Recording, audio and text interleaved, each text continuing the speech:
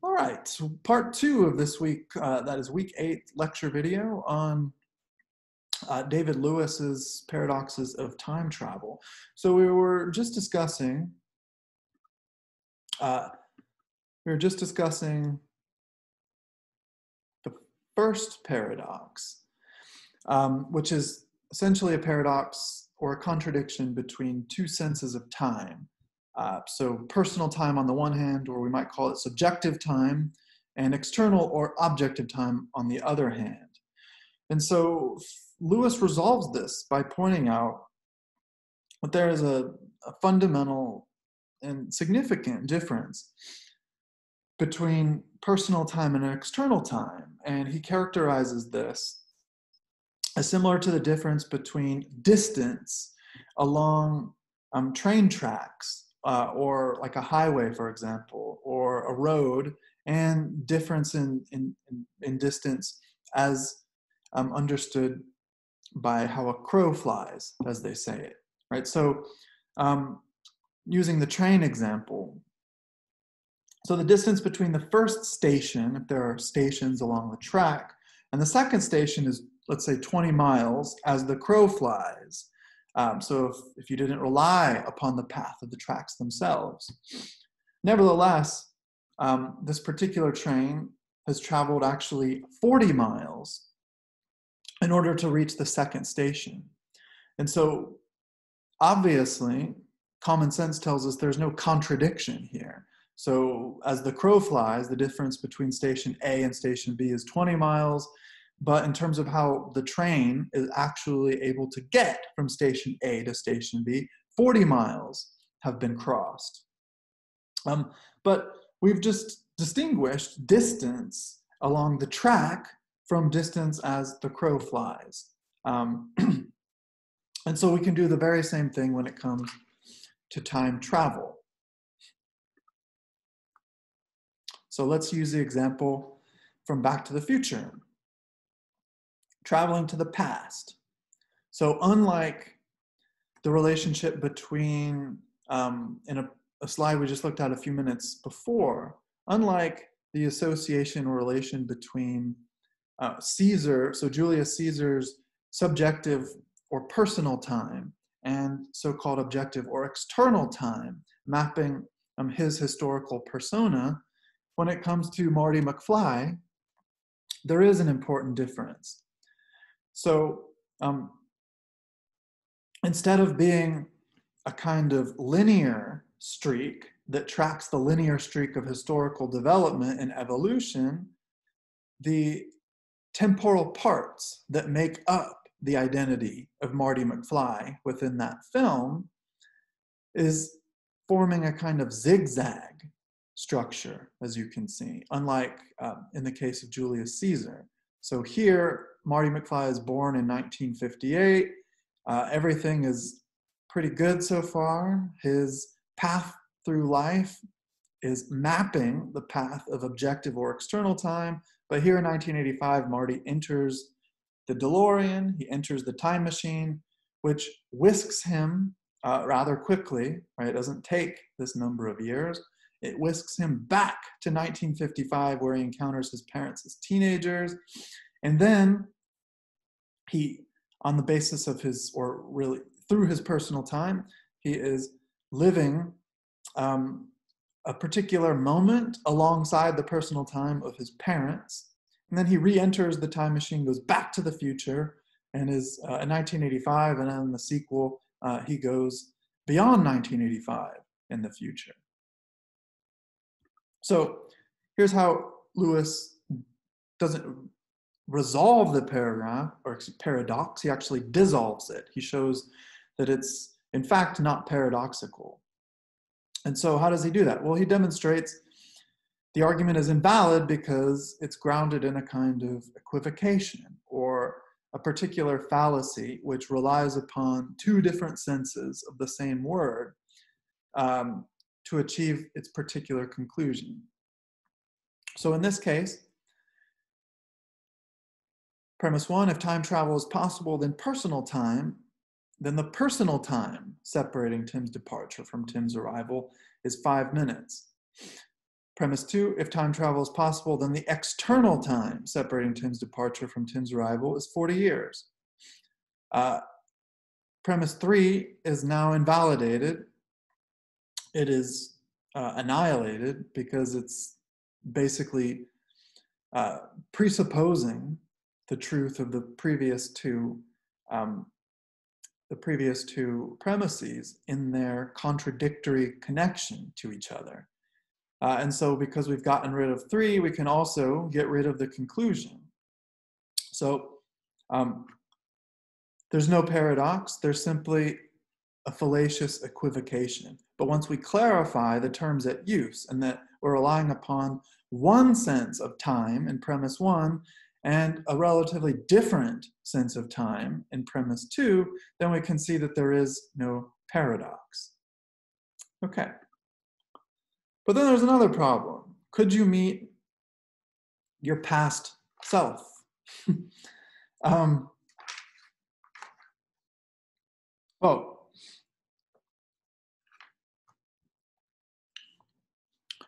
note that it can happen, and this is what he outlines next in the paper. So note that it can happen that five minutes ahead, if we're continuing with this sort of train metaphor, the train passes under a trestle, whereas seven miles ahead, the train goes over a trestle.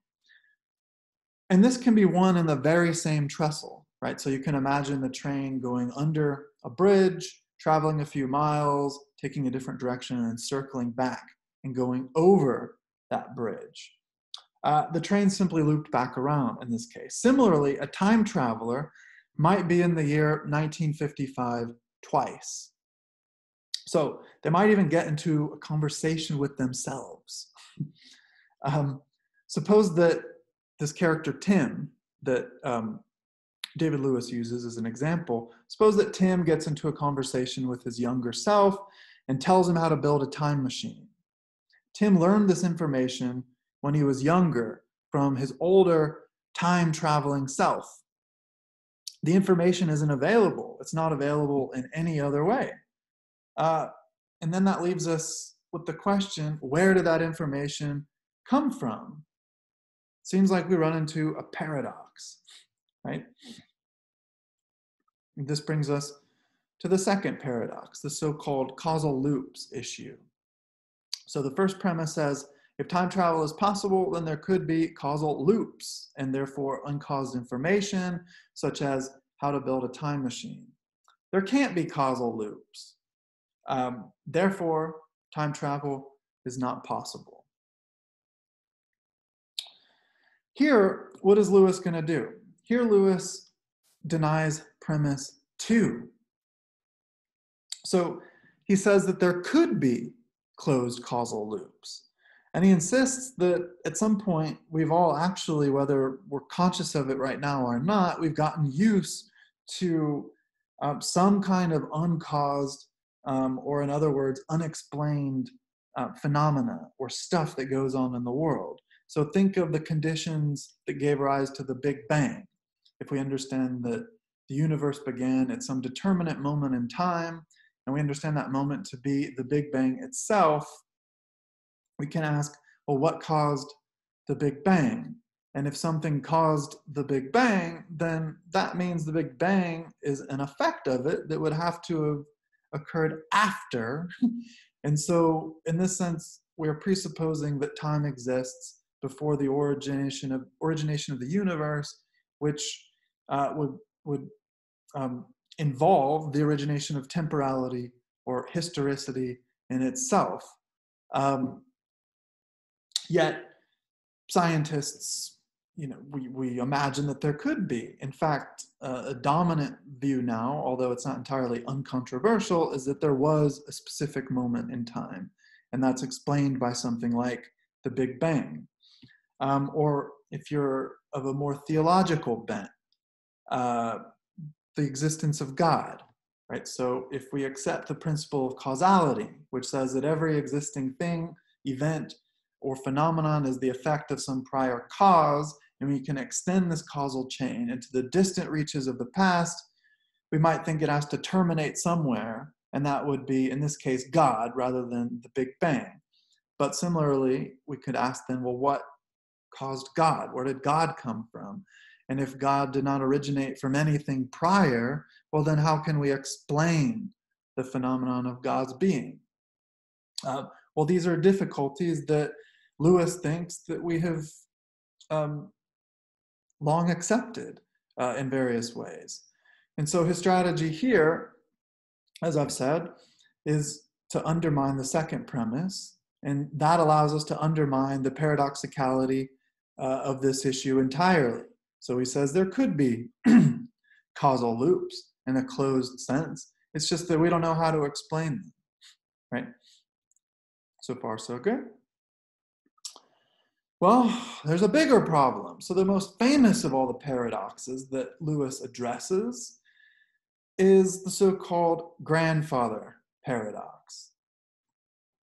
So, going back to Tim, can kill, can kill, can Tim kill his grandfather? Well, it seems that he can. So, imagine Tim, as Lewis describes the scenario, has this burning hatred for his grandfather and he wishes he could return to the past prior to his own birth so that he could kill his grandfather.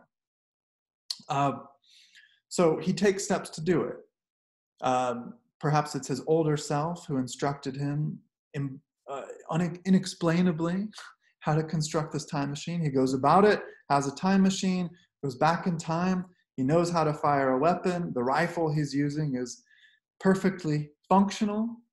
Um, he sets himself up as a sniper on a roof and waits for his grandfather to emerge from a building. Well, it really seems like Tim can kill his grandfather. As Lewis describes it, he has what it takes. Conditions are perfect in every way. The best rifle money could buy. Grandfather is an easy target, only 20 yards away. Tim is as much able to kill grandfather as anyone ever is to kill anybody. To make it easier, he says, suppose a duplicate of Tim, Tom, is another sniper who's lurking uh, at some location down the street for Tim's grandfather's partner. So Tom is not a time traveler, but otherwise he's just like Tim. Easily he could kill uh, Tim's grandfather's partner. But then on the other hand, it looks like Tim could not kill his grandfather. Why?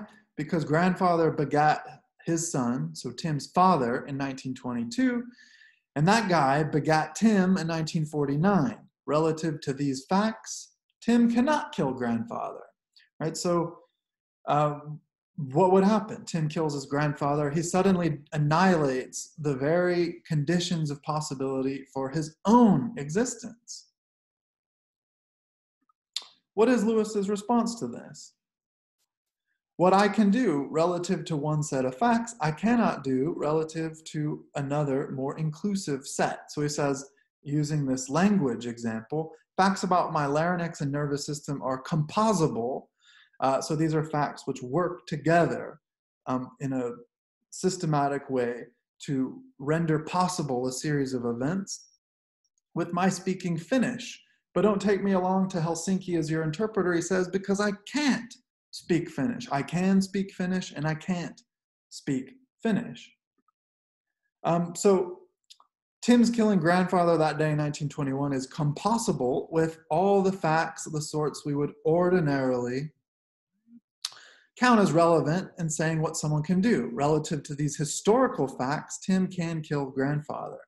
But his killing grandfather is not compossible with another more inclusive set of facts, including the future, the simple fact that grandfather was not killed. Um, and the same would apply for Tim's uh, grandfather's partner for the same reasons, right? So there's nothing really mysterious about um, time travelers here. So the paradox. If time travel is possible, Tim could kill his grandfather. If time travel is possible, then Tim could not kill his grandfather. Contradiction, therefore, it's not possible. Well, again, an equivocation is at play here.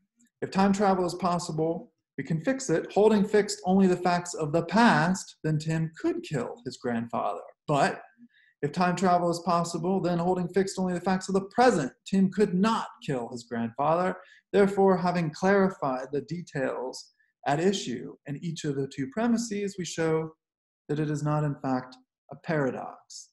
Um, so I'm going to end it there. Hope you guys are having a great week, and I look forward to seeing you in our Zoom meeting.